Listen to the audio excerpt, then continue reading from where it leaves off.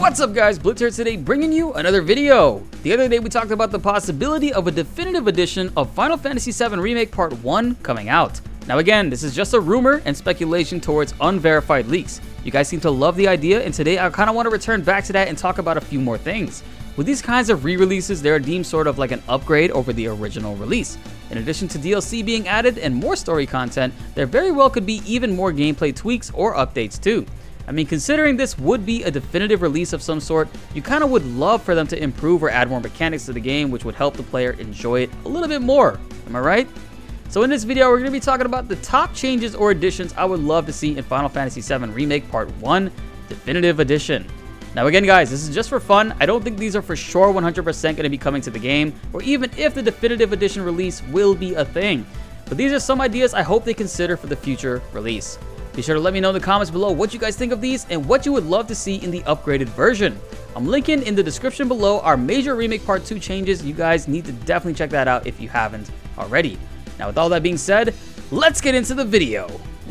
Now it goes without saying that everyone who has played Final Fantasy VII Remake has complained or acknowledged this one, no matter how much you love or hate the game. So we won't linger on it too long, but fix textures and improve frame rates to be consistent 60 frames per second. The biggest initial complaint about Final Fantasy VII Remake was that the textures and certain background skyboxes of certain chapters were just flat out not great quality when compared with the rest of the game. I personally believe these were purposely limited to keep the game running at a smooth 30 FPS.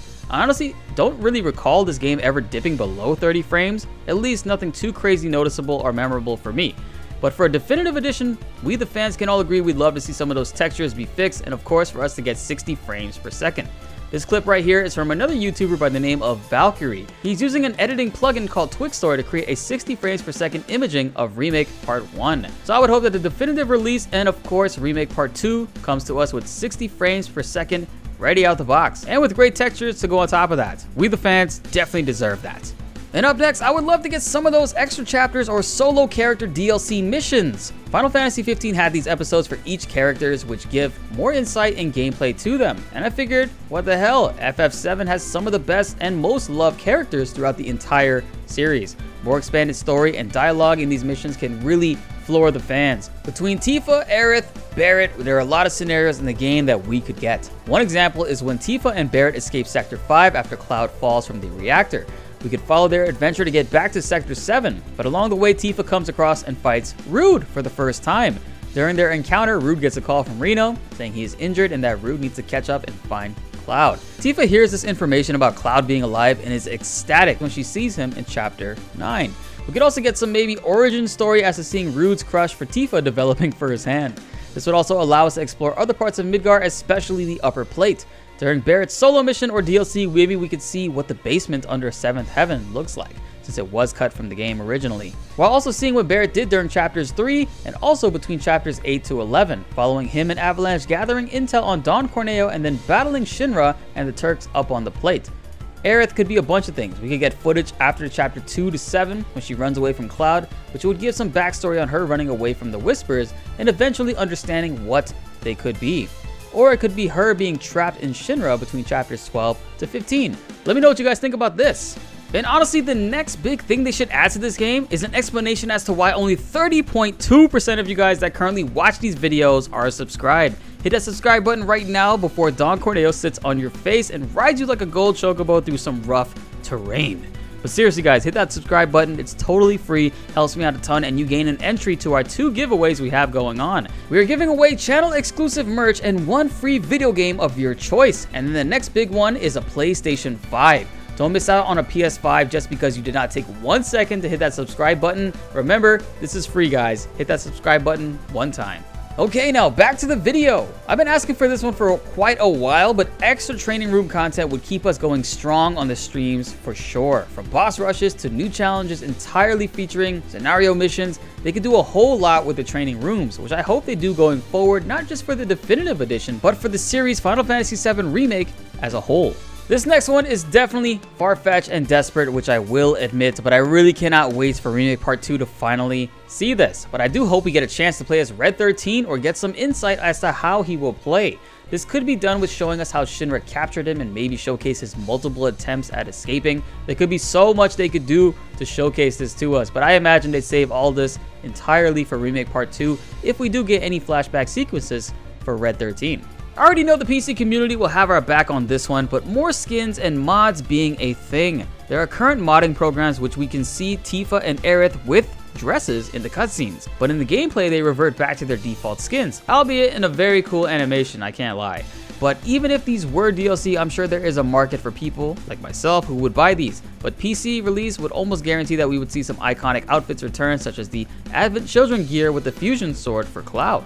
This next one is just to satisfy the challenger or daredevil inside of me, but adding another difficulty other than hard mode while also making classic mode able to access hard mode instead of always being easy. In Definitive Edition, if they added another difficulty for us to mess around with, I think that could provide a whole another playthrough for many of us. Also gives us plenty of challenges with it expanding more on what hard mode throws at us already, while also changing up drastically how certain enemies work. In Remake Part 1, the Guard Scorpion's tail laser strikes twice on hard mode compared to the one time that it does on normal mode. But more instances like this would be ideal in my opinion. This next one I've already mentioned in an earlier video, but I haven't seen other people talking about this, and that is to remove the L2 function to change map and compass.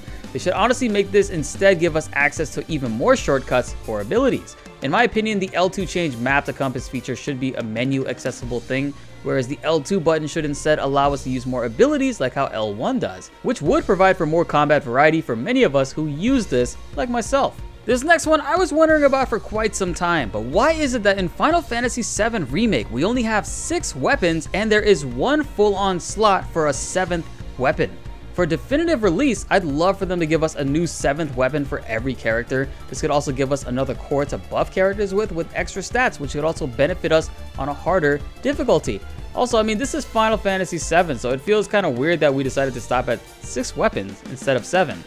I don't know, am I the only one bothered by this? I mean, why is there a full entire slot for this?